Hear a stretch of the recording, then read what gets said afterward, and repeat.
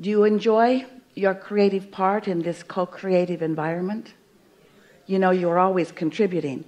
Even if you are not verbalizing you're contributing because you're always emanating a vibration. You're always offering a vibrational signal. And because you cannot turn that off when you are in your awake state law of attraction is always matching you up with other signals that are matching. That's how the universe works. It's how everything is. It's how every relationship comes to you. It's what every moment in time is about.